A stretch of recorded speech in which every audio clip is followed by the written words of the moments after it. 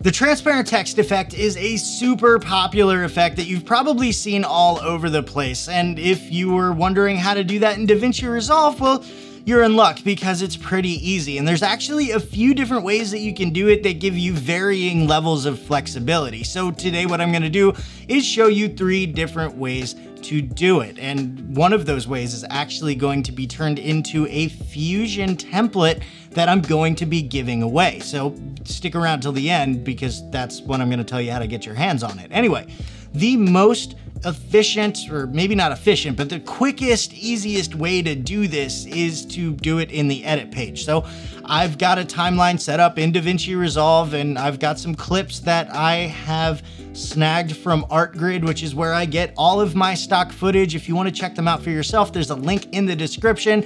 And if you sign up for an annual plan using that link, you'll actually get two extra free months. So go ahead and check that out if you want. But anyway, let's get started. Let's drag a video clip into our timeline. We wanna make sure that this is on video track two. This is very important. If you put it on video track one, the effect won't work. Next thing that we're gonna do is come into our effects library and we're gonna grab a text clip and we're gonna drag that into the timeline. And we're gonna go ahead. I'm just gonna expand this to the length of the clip. You don't have to do that. It's just what I feel like doing right now.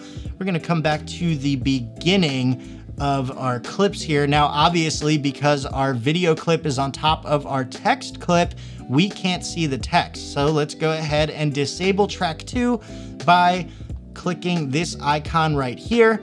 And then we're going to grab our text clip, come into the inspector, type in whatever you want. I'm going to go ahead and click or type in transparent text because that's how creative I'm feeling today. Then go ahead and make your text look however you want. I'm going to change this to a different font. We're gonna go with Bebas Neue right there.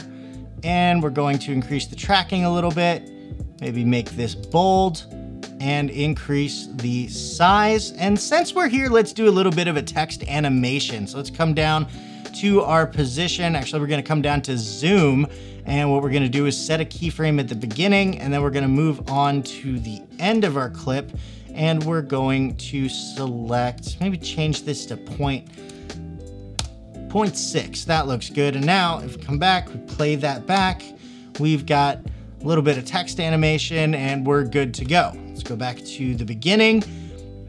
And now we need to get our video clip inside of our text. So let's go ahead and re-enable video track two. And we're gonna select our video track. We're gonna come into our inspector. We're gonna come down to composite, and then we're gonna change our composite mode to darken. And now if we play that back, you can see we've got our video clip inside of our text. Our text is animated and we're good to go. So like I said, it's quick and easy. It's like the simplest way to do the transparent text effect, but you are sacrificing a little bit of flexibility. In fact, other than really doing the transform controls on the text, you don't really have much to do. If you want more flexibility, more options, let's say you wanna add an outline to your text or you wanna change the color of the background, if you wanna do that stuff, you need to go into the Fusion page. So let's grab another clip from our media pool, drag that into the timeline. We're gonna select that clip, we're gonna right click and we're gonna hit new Fusion clip. We're gonna make sure that Fusion clip is selected, make sure our playhead is over that Fusion clip, and we're gonna move into Fusion. Let's go ahead and center these. Now, first thing I wanna do is add a merge node because everything's gonna be connected to that. So let's select media in and we're gonna go ahead and hit our merge node icon, which is right here. And we actually want to change this so our media in is going into the foreground of our merge node. Now let's select our merge node and we're going to create a background node. We don't need that extra merge there. Let's go ahead and connect our background node to the background of our merge. Move this over here, make it nice and neat. Now let's make sure nothing is selected. We're going to add a text node and we're going to add a transform node. And we're going to connect our transform node into the mask input of our merge node. and you'll see a blank screen. Don't freak out. We're gonna fix that right now. Let's go ahead and select our text node and start typing in some text. Once again, I'm gonna do transparent text. It would help if I could spell.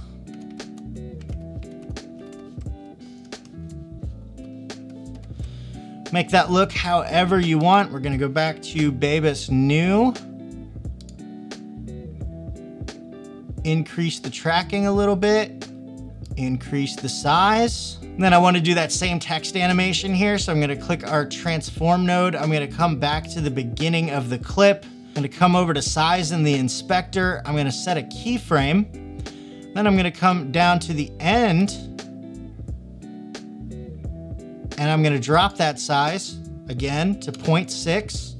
Hit enter, that will add another keyframe. Now let's move back to the beginning of our clip. Go ahead and play that back. You can see we've got our video inside of our text. We've got our text animation, so that all looks good. And because we have a background node, we can actually change the color of our background. So let's go ahead and select our background node, come into the inspector, click on color, and just choose any color you want. I like this nice orange color. I'm gonna go ahead and click OK. And now we've got a nice orange background with transparent text and everything looks great. One other thing that you can do is select this merge node and come into your settings in your inspector and select apply mask inverted. And what that will do is that will make your text yellow and then you'll have your video around it. And what you can do with that is you can actually keyframe that checkbox throughout your clip and you can make the background switch from yellow to transparent and then vice versa with the text and you can actually create a pretty cool effect. All right, we've got two methods down, one to go. Now this is the one that I'm gonna be turning into a Fusion template. Again, stick around till the end so you can figure out how to get your hands on it. This method is really cool. It uh, really gives you the most flexibility and it also allows you to add multiple video clips inside of your text, which is just super, super cool. So let's go ahead. We're gonna move our playhead to the end here, shrink that timeline down just a little bit. And what we're gonna do is we're gonna come into our media pool. We're gonna right click and we're gonna hit new fusion composition. Give it a name, transparent text, and hit create. Now we're gonna grab that fusion composition, we're gonna bring it into our timeline, make sure it's selected, bring our playhead over it, and head over to the Fusion page. Okay, so right now all we have is media out. We need to add some stuff here. So let's go ahead and drag a video clip into our node tree. And we're gonna add a merge node. And just so we can see what we're doing, let's drag that merge node into our video player. We're gonna connect our media in with the foreground of our merge node. Then we're gonna select our merge node. We're gonna add a text node. I don't know why I added another merge. We don't really need that. Let's connect our text to the background of our merge node. Then we're gonna select our merge node and we're gonna come over into our inspector and we are going to change our operator to in, and that's going to place our foreground into our background. So now if we select our text node and we type in something like JCuts, let's go ahead and do Bebas Neue again increase the tracking, increase the size, you can see that we've got video inside of our text. But like I said, we can actually put multiple videos inside this text. And in order to do that, the first thing that we need to do is add a transform to our video clip.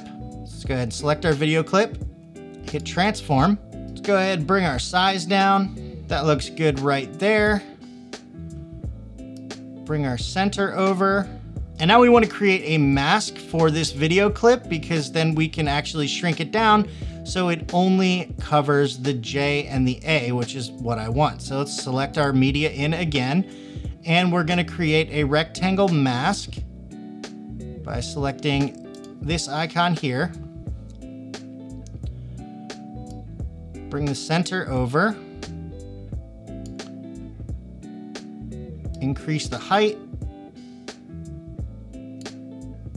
Maybe bring our position down a little bit.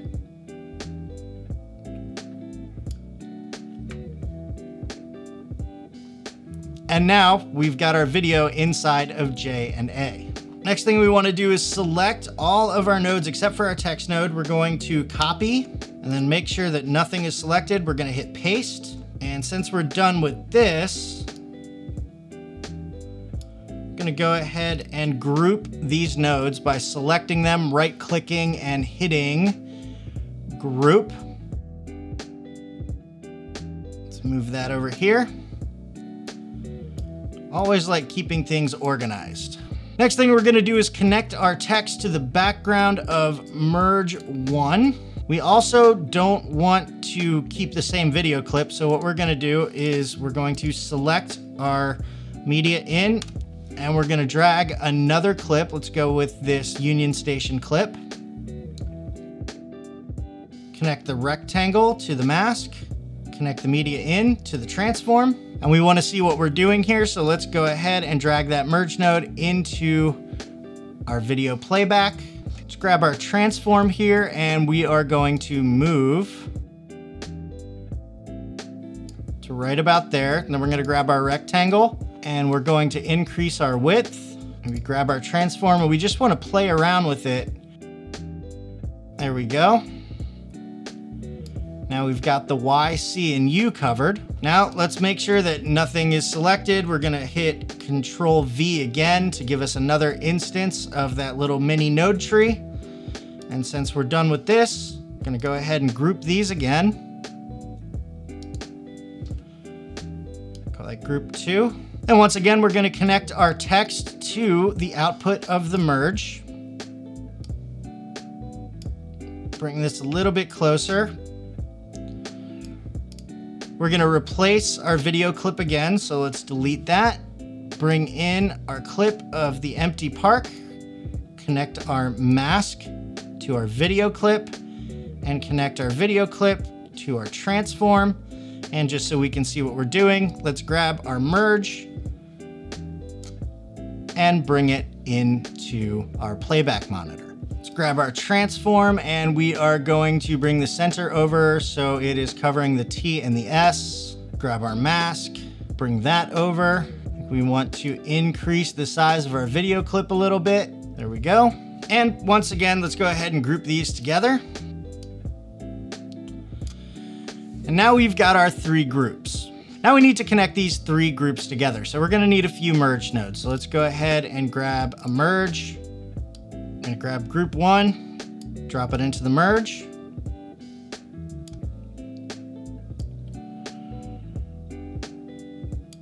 Have group two, drop it into that merge. We're gonna add one more merge node. Bring it over here. Drop that in there. Now, if we grab this merge four and we bring it, bring it in here, you can see we've got three different video clips playing underneath our text. But we're not done. Like I said, I wanna add an outline to this text. I wanna add a background, maybe animate the text a little bit. Let's go ahead and start with the outline. So first thing we're gonna do is select our text node. We're gonna copy that by hitting Control C, and then we're going to right click anywhere and hit paste instance. And while we're at it, let's go ahead and add another merge node.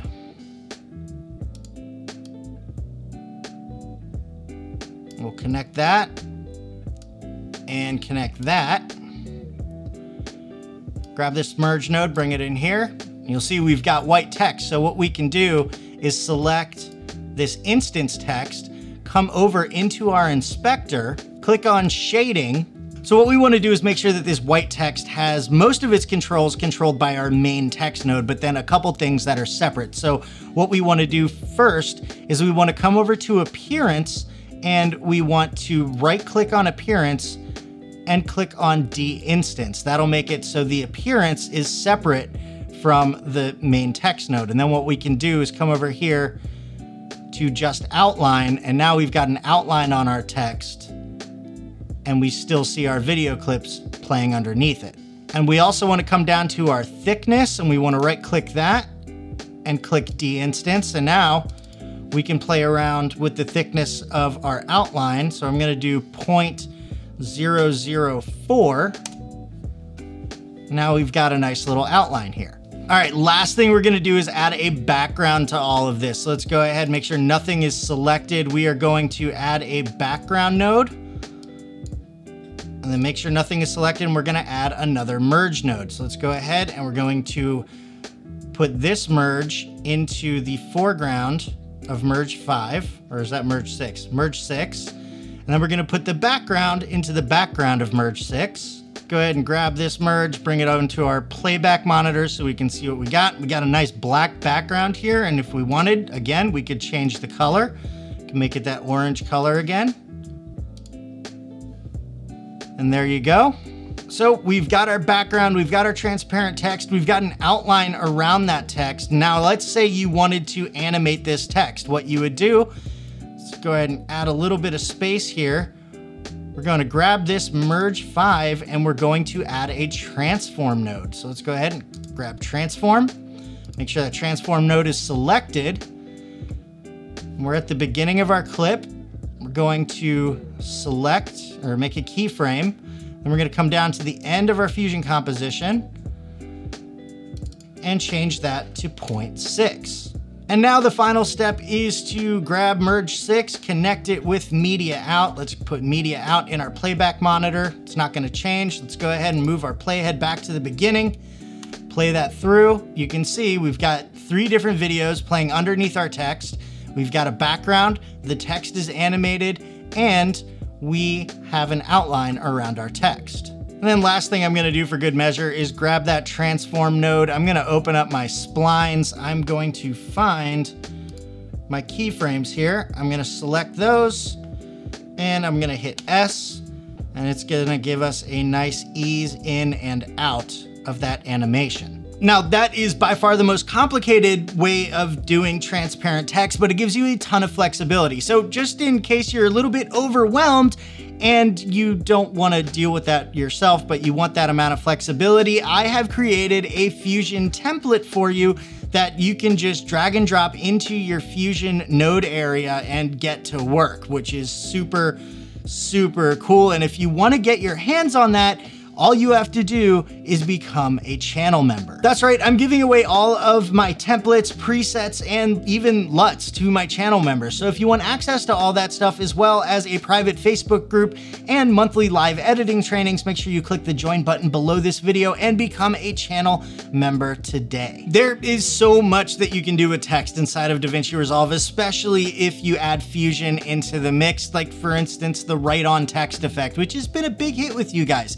If you have no idea what I'm talking about, then check out this video right here. And for more tools, tips, and tricks that'll make you a better video editor, make sure you subscribe to the channel and hit that bell so you don't miss anything. Thanks for watching, and I'll see you in the next one.